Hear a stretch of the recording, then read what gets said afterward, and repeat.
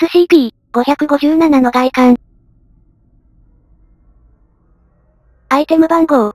SCP-557。オブジェクトクラス。ユークリッド。特別収容プロトコル。SCP-557 の移転は不可能であるため、調査用のサイト29がその周辺に作られました。当エリアの地理学及び航空調査では、考古学的に貴重なものも目立った鉱物もなく、空虚な砂漠と化していると見られました。当サイトの配置人員の仕事内容。SCP-557 への無許可の観測行為及び接近を防ぐこと。人を寄せ付けない場所であるにもかかわらず、を含む複数のオカルト集団が SCP-557 に気づ、気づいている様子を見せており、また興味を示しています。許可されていないものに対しては、交流、聴取、そして適切な処置を行うべきです。何者かが地下5階の下からトンネルを掘ろうとしたり、ルーム501の床にある石くれを乱そうとした場合、これを即座に排除してください。SCP-557 内で発見された記録の翻訳作業を続けること。SCP-557-1 のエリアを監視すること。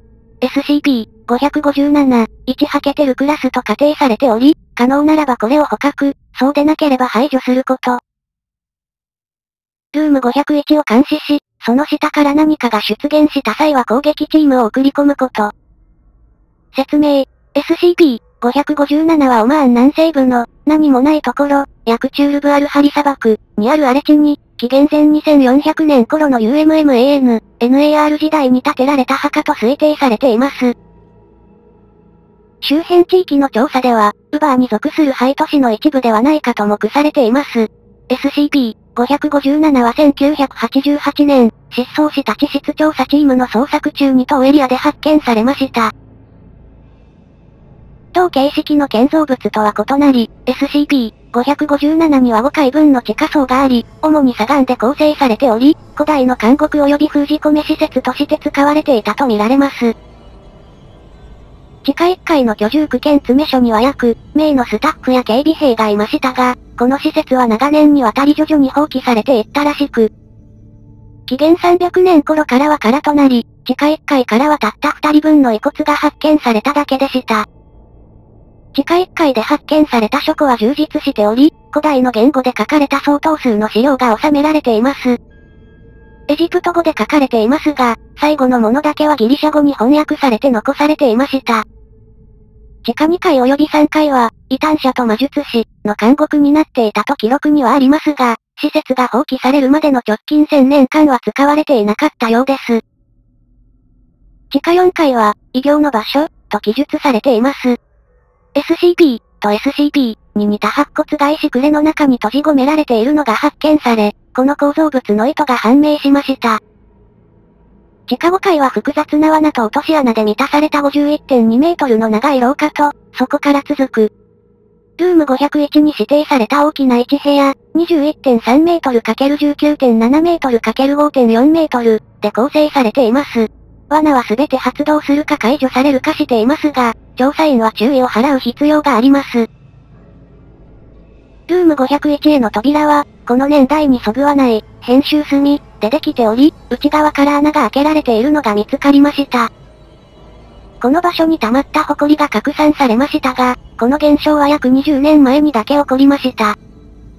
ルーム501の床の中央には上部を出して埋め込まれた3.2メートル ×3.35 メートルの花崗岩の石くれがあり、これの重量は80トンと見積もられています。石くれは未翻訳の神秘的な文字で覆われています。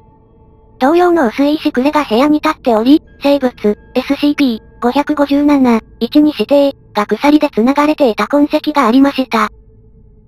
鎖の材質は扉のそれと同じものでした。SCP-557、1の継続的な存在の痕跡は見つかっていません。翻訳された記録には、SCP-557、1は、囚人、とのみ記されており、例外的に、とあるエジプト語の記述では、アペップの死生児、と記されています。ほい。書庫で発見された記録の翻訳。この場所を見つけた者が博識なものなら必ず理解できるようにギリシャ語で記すことにする。私は万人の最後の一人であり、もうじき死ぬだろう。砂がこの時を覆っていくが、しかしこれが最善なのだ。衆銀は決して逃がしてはならず、また闇への入り口は決して開かれてはならない。門が動かされるとは思わないが、誰かが衆銀を知っている必要がある。神々でさえ奴を殺せず、その助けによりて奴をただ確保したのみな。儀式なしではどうなっていたことだろう。最善を尽くし扉を確保し、絶対に意志くれを動かさないでくれ。